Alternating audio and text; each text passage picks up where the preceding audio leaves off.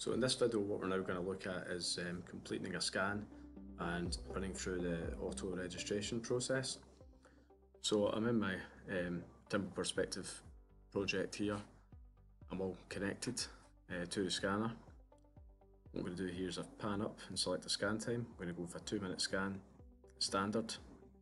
I'm going to turn the images on, HDR off and leave the white balance on. So all I'm going to do is hit the start scan button. So you can press the button on Trimble Perspective or you're able to do a quick press on the side of the X7 and it will start the same process. What will happen first and foremost is the scanner will go around and do its initialization. So all it's doing here is running the calibration and it will run that before every scan. Usually takes around 30-40 seconds. The first time is usually longer um, and if the, this the environment you're in stays the same throughout, then the initialization time gets a bit quicker. Once it's completed initializing, it'll then move on to start its scanning procedure. On the X7 at this time, there'll be the lights will be flashing blue, and that's just to indicate that the scanner's working. So obviously it's important not to move it at this point.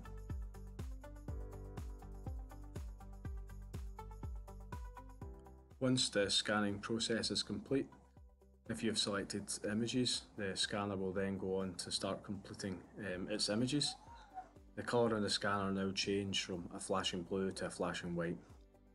Whilst the scanner is taking the images, you'll notice the notifications start to pop up, just to inform you that it's actually downloading the scan. So what will happen is the, the scanner um, will work um, independent of perspective, so you're able to work in perspective while the scanner is actually completing its processes. It'll first bring in a scan and then what it will do is it will use an auto orientation just finding a, a longitudinal feature in the project um, in the scan and then orientate the scan uh, along with that feature. So if we pop into notifications here you'll see what's going on. We've got a scan downloaded and the auto orientation is complete. And at the moment we're just finishing off our images and once they're complete the scanner um, we'll then push that data through via the Wi-Fi link to Perspective.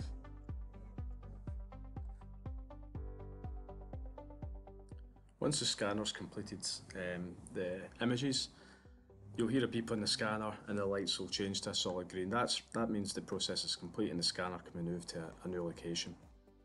So all we're going to do is move the scanner and then again we're just going to start scanning our new position. And it'll run through the same process again doing initialization, move on to the scanning, and then recording the images. Meanwhile, if we go to our stations tab here, we can see we have now have one station in here.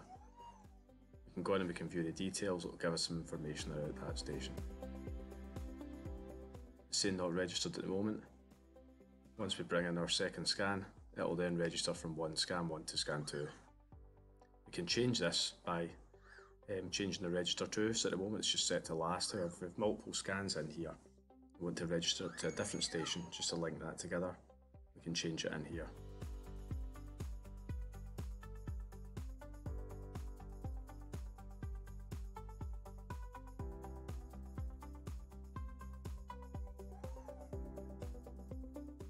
Once scan 2 is complete, it will then start downloading the data and again the scanner will continue capturing images. It'll then load the points into the project. You'll see scan to appear here. And what you might notice usually is that the orientation is correct. It's at the correct rotation and it will also be in the correct height, but it, it will be out of position. So the IMU is responsible for keeping it the correct orientation. It'll start to auto-register as instructed between 1 and 2. And when complete you'll see 2, then shift into 1. And what we get here is we get this um, link that's created. We get this pairwise link between 1 and 2 and what we want to do is continue to go on forming links between our stations.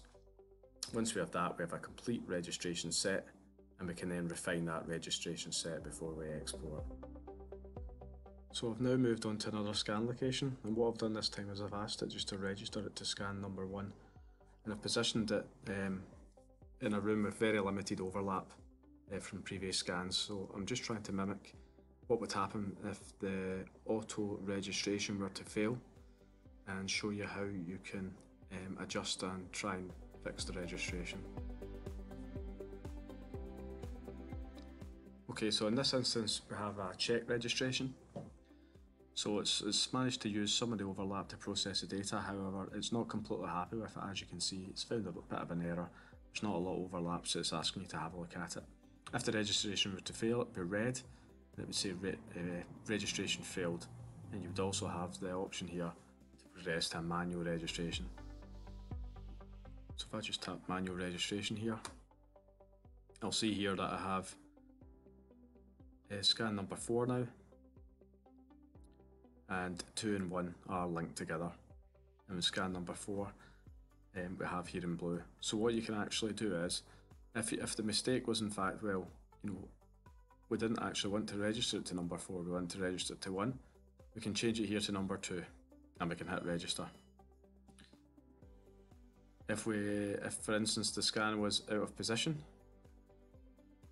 rather than just changing it from 4 to 2 uh, from to register between scan 4 and 2 what we can do is we can select on a point and we can move it around the room and then we can select the circle here just to rotate it into position if we can find enough sufficient overlap we can just use that just to visually put it into position once we have it roughly in position it's just a case of selecting register and asking it to rerun the registration algorithm. Again, here we have a check registration. What we'll do is I'll show you the one of the other methods here we can use as well. We can use a split view. So basically what we're doing is we're viewing the scan from station 4. You'll see here actually on station 2 that this door was shut for the room that I'm in at the moment and basically I've put in a cupboard and left a very very small gap so you can understand how it may struggle with registration. But what I can do is I can actually try and pick out a couple of common points from each scan.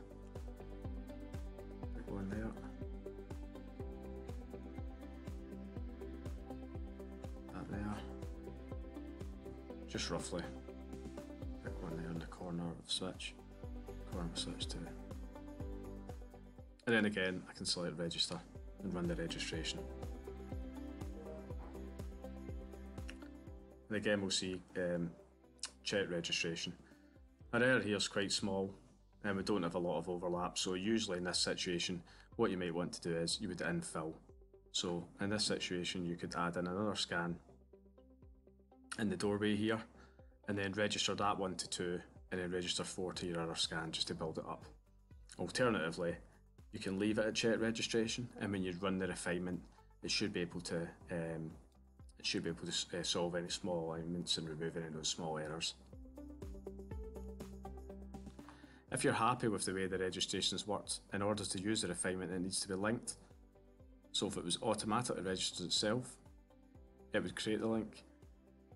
But you, it didn't um, it didn't complete auto registration, so what we're going to do is just add create a link here. If I hit close, that's a point cloud registered.